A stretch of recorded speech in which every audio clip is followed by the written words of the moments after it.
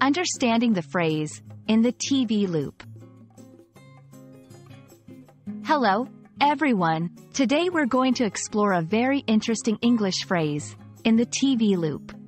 This phrase is often used in everyday conversation, and understanding its meaning and usage can greatly enhance your English language skills. So, let's dive in and unravel the mystery of this phrase. In the TV loop is an idiomatic expression that means being up to date or well informed about the latest television shows, series, or news. It's similar to being in the loop, which means being informed about general events or happenings. However, in the TV loop, specifically refers to being knowledgeable about TV-related content. You'll often hear this phrase in casual conversations, especially when people are discussing television shows or news.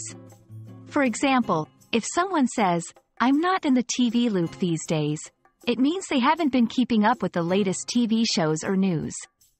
On the other hand, if someone is in the TV loop, they can actively participate in discussions about recent episodes, trends, or TV news,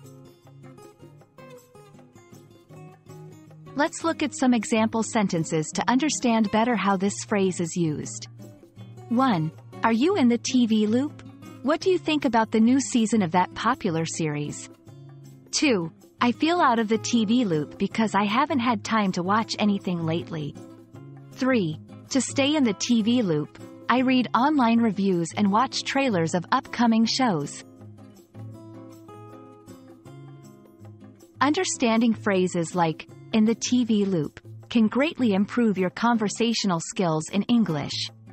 It's not just about knowing the words but also about understanding the context in which they are used. I hope this video has helped clarify this phrase for you. Keep practicing, and you'll be fluent in no time. See you in our next video.